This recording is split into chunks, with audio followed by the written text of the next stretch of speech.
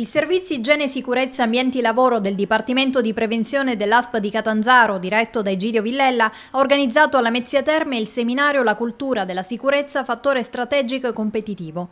Il seminario è la prima iniziativa che nasce dal protocollo d'intesa siglato tra ASP di Catanzaro e la SACAL SPA. All'incontro era presente il magistrato della Corte d'Appello di Torino, Raffaele Guariniello, e il vicepresidente dell'undicesima Commissione Lavoro Pubblico e Privato della Camera dei Deputati, Renata Polverini.